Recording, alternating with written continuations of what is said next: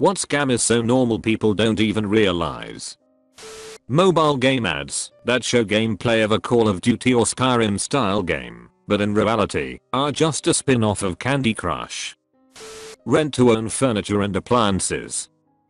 Manufacturers refusing documentation to private repair enterprises and requiring you to get your products fixed by the dealer. Basically, the reason for the right to repair movement. The Verizon $1 scam. Verizon tacked on a $1 fee onto 8% of their customers' bills each month so over the course of the year, they did it to every customer, about 150 million. Their rationale was 50% wouldn't notice and just pay the charge, or would notice and wouldn't spend any time fighting a $1 charge. 50% would notice the charge and call to have it removed. Of those, 35% would get frustrated while on the call and give up. This added approximately $120 million to the bottom line each year, 3 total, until caught. Once caught, they paid a $25 million fine. Those registries that people pay money to name a star. I keep seeing advertisements on FB for companies that will give you official lord or ladyship for like $50 based on giving you the title to a small parcel of land somewhere like Scotland. I googled one of them once, and the first result was a breakdown of why the company is fraudulent and doesn't actually have access to any land anywhere.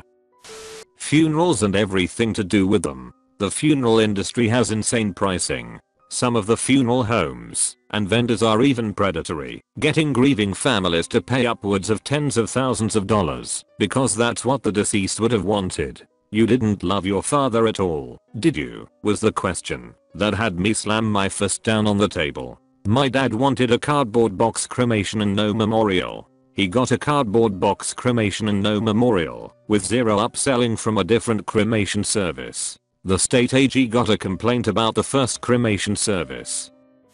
Paying for cable TV. The whole idea of paying was to create a revenue stream separate from that of marketing. There are a few out there, HBO, I think, but generally we pay to access the content and still have to spend 20% of the time sitting through commercials. Then streaming comes in, and we're free of advertisements again, for a bit. Now YouTube has tons of ads and other streaming services are talking about adding ads as well. Annual college tuition increases. Why aren't they held to a competitive pricing model as opposed to having to take out a mortgage to go to school? Everyone wants to talk about government paying for college education, but there is no conversation on why is it that expensive anyway. Especially when some unis have endowments in the billions, that just the interest on those funds could literally pay the tuition for everyone that goes through the door. Bottled water, like Dasani, especially in places like an amusement park that markups the price a shocking amount. Also the average markup of bottled water is 4000%, which is freaking outrageous because water is literally free most places. I'm fuzzy on the details, but Warped Tour got in a lot of legal trouble here in Canada because of water. They were in the habit of taking any water bottles or drinks from you when they checked your bag at the gate. Then you get inside and everything costs money. The energy drinks and pop cost less than the water, so most people would buy those instead. One woman bought energy drinks all day because it was a hot summer day and she wanted to save money for merch. She had a heart attack and died. Now they aren't allowed to confiscate water at the gate. I just paid for the privilege of setting up my router. My cable company recently started trying to charge me for my router, which I own. I got a notice saying, we noticed an error in billing, and we will be charging you for the equipment rental starting in December. The freak you will. I have every receipt from every cable or phone transaction I've ever done for that exact reason. I paid outright for my router, so I wouldn't be renting their crappy equipment at $12 a month. Now they want to charge me for my own property. After receiving that notice I hopped right onto customer service to get it resolved and they directed me to their loyalty department because they could best handle it over there. I cut off the conversation and just cancelled my service. Cable companies are pure scum. Cat food. Look at the cat food at a random store and see how the design brags about all the healthy vegetables they've crammed into your obligate carnivore's diet. Then check out the ingredients and see how corn, rice, etc. are often the first ingredients. pet foods market toward humans by trying to appeal to human sensibilities, not genuine desire to provide your cat with the best diet. I've been using Costco cat food for a while because it's cheap and convenient, but I recently figured I should look into getting a better food. Turns out the Costco food, with fish as the first two ingredients, is better than 90% of the other stuff I looked at. I was pretty surprised. All MLMs they prey on insecure women, specifically army wives to give in. It's almost like a cult. Guaranteeing new friends, lots of free trips, and make $20,000 a month. They are not your friends. The trips are only free if you become a top earner, and the only way to make $20,000 a month is to get at minimum 100 people in your team that work every single day. Most sales from those companies are from the salesperson who is buying it to sell it. And they tell you that you have to buy more to sell more. It's really gross. Edit. Wow thank you to all the awards and responses. I wanted to add something I've been researching MLMs for years. And I want to make what I mean about insecure women clear. Insecure, meaning, sad, lonely, stressed, not financially stable, not guaranteed home, military family that moves a lot. I've been to these meetings, I've listened in on calls on how to get more recruits. I'm repeating what they have said on these calls and meetings. Sad, lonely, insecure. And I also do not mean all insecure women take the bait. I myself am extremely insecure in all which ways and have never joined a MLM, even though I've been offered a bunch. I hate that they are so predatory towards these people. I want to make something else clear. In no way judge the women and men and non-binary that take these opportunities. When you don't know where your next paycheck is coming from, and you have mouths to feed, they make the offer so tempting. I would hope people choose a different job, but it's definitely tempting especially for stay-at-home moms. Turn your judgment to these disgusting companies and the people higher up in those companies that make people feel like their lives are about to become so much better. College. Taking dozens of general education classes completely unrelated to your degree is a massive racket in my opinion. If my schooling wasn't paid for by my employer, I certainly wouldn't pay for it myself. I've never understood the whole major slash minor system they have in the US. I did 4 years of agricultural engineering I had a couple of math classes that aren't useful to me now, one class of ethics more centered on engineering, one class of computer science really MATLAB, and one language class. That's it. All the others classes were either related to agriculture or engineering. Sociology wasn't an option, neither was history or literature, or whatever else that has nothing to do with science.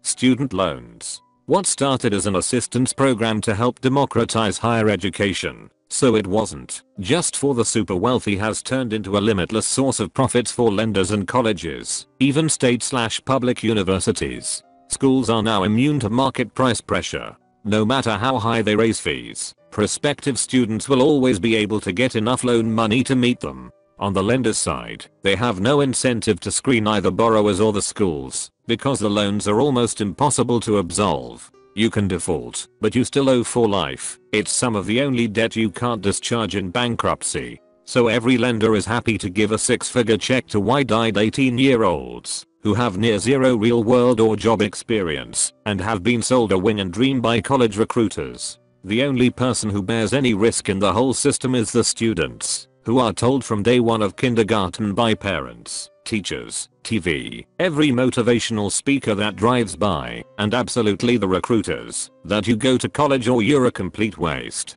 Whatever it takes you go get that degree.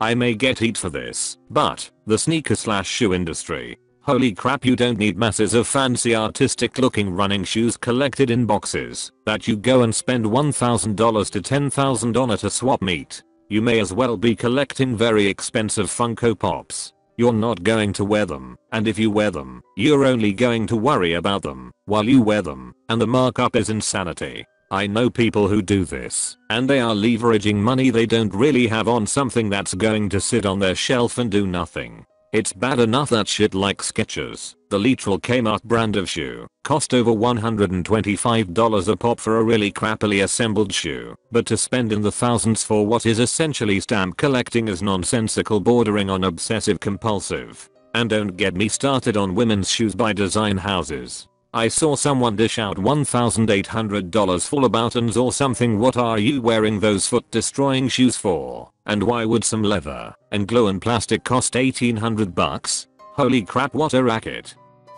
One that isn't mentioned much, that I've ever noticed, also doesn't generate much sympathy, since it scams businesses instead of individuals the BBB is pretty much a scam. They can collect reports on businesses who aren't members, plus merely not being accredited is supposed to be bad. But businesses have to pay for the privilege of being accredited. As far as what it actually does nothing really. I worked for a large company at the executive response level before, responding to FCC and BBB complaints among other duties, and generally you just have to summarize your response of what action was taken. It's akin to sharing account notes basically. So essentially complaints don't do anything at all. Nothing is going to happen. If you make a BBB complaint in 99% of cases, it's just yelling to get an officially posted response of the same answer you didn't like the first time. However, if you do not answer them, or even refuse to pay for the useless service, then you get dinged, because BBB accreditation is supposed to mean something.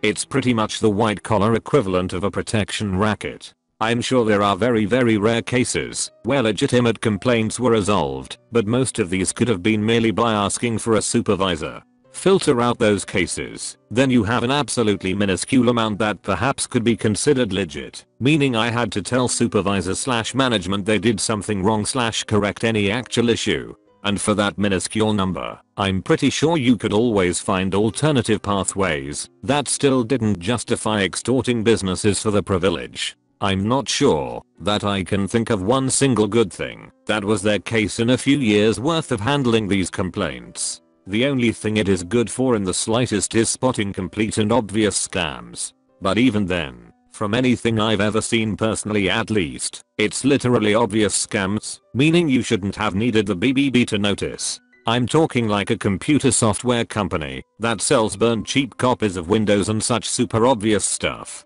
And yet for this minuscule service, they get to charge most businesses for protection accreditation, because a great BBB rating is ingrained as good, and no accreditation has successfully been ingrained as bad. Also consumers are trained to think a complaint hurts a business rating. It does not at all. Not responding to a complaint is the only thing that hurts the rating. Or not bothering to pay to be accredited. I mean if you tried to start your own business on the same sort of model, I'm pretty sure you could end up with charges lol. The closest thing is literally a mob protection racket. You can pay us for protection from bad slash no accreditation, and in exchange we won't beat you up, declare in neon letters that you didn't pay us to be accredited. Makes no sense how they are highly regarded.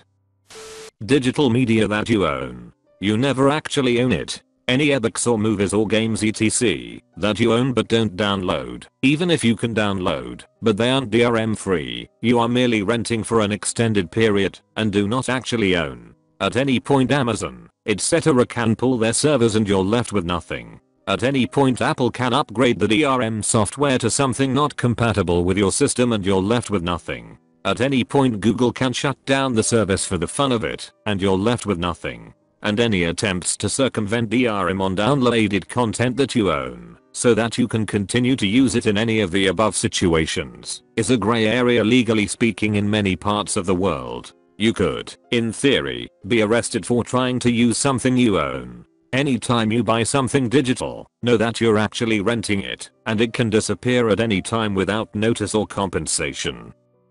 Fashion, but also just clothing in general, no pockets on female clothes. More purses get sold. Thin layers for women.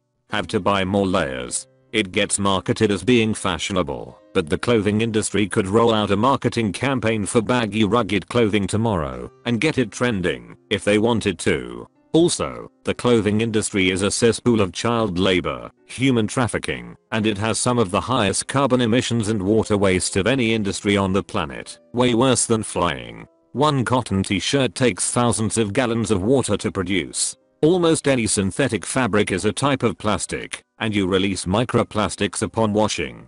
On top of all that, we have repressive cultural norms and laws regarding the necessity of wearing clothing that come from Puritans and Victorians who thought table legs had to be covered and ankles were sexy. The idea that you should be embarrassed to be naked in front of other people is a cultural phenomenon, not instinct, and you can look at pretty much any tropical tribe to verify this fact, that humans are actually generally normal around other naked humans. Like and subscribe for more edit videos.